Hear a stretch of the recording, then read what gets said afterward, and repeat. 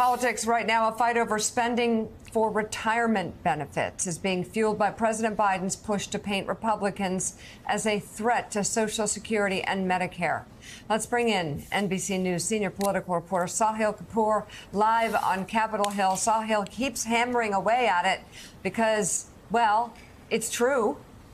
Well, I mean, and, and, Republicans, uh, Sahil, keep talking about it. We even had on Sunday shows Aye. this weekend some Republicans saying the quiet part out loud, playing right into Joe Biden's game plan.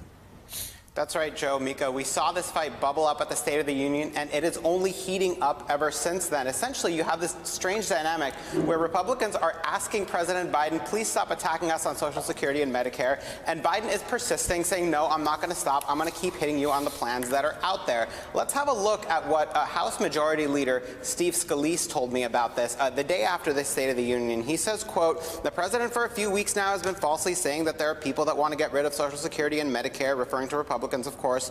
Uh, he goes on to say, I just hope he stops going around the country telling that falsehood because there's no truth to it, unquote. The White House's response, I put this to them, they say, absolutely not. The White House and uh, President Biden are going to continue calling out the Republicans because, according to White House spokesman Andrew Bates, quote, a wide range of Republican lawmakers have endorsed severe cuts to Medicare and Social Security benefits in the name of fiscal responsibility.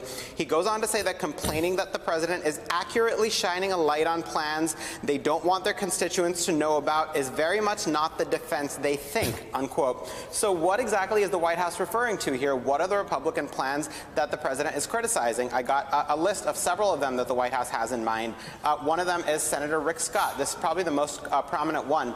He proposed last year to sunset all federal laws every five years unless Congress reauthorizes them. Of course, Social Security and Medicare are federal laws. Senator Ron Johnson has said that Congress should approve funding for Social Security and Medicare every year as part of the appropriation process, and if they don't, then those programs will by default run out of money. And then there's the Republican Study Committee, a group of more than 100 House conservatives. They put out a budget uh, for the fiscal year 2023 that would include all sorts of changes to slow the growth of Social Security benefits over the long haul and include a transition to this Medicare premium support plan. It's the plan that uh, former Speaker Paul Ryan introduced a decade ago, which is a major flashpoint on the 2012 campaign trail when President Obama was running for re-election. Now, this fight is going to play out on Capitol Hill because they have some legislating to do. They have a debt limit battle. Republicans are calling for spending cuts without pointing out what exactly spending cuts they want. And many experts have said if you exempt Social Security and Medicare, you cannot get anywhere close to a, a, balanced budget. And of course,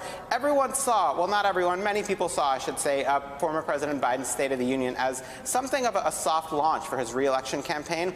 Uh, Biden is making clear that he intends to highlight this issue uh, and hammer Republicans. But look, what it all boils down to, guys, is there is a fiscal reckoning coming for these programs. They will dip into the red. Medicare in 2028, Social Security in 2035. The question is how you prevent, uh, you know, what you do about it at that time. What Republicans invariably say is don't raise taxes, cut the benefits over the long haul when you push them. What Democrats say is don't cut them, raise tax revenues to finance them over the long haul, and even expand Social Security benefits. That's a, a position that President Biden has taken. We're going to be hearing a lot more about this uh, in Washington and the campaign trail. Joe, Mika.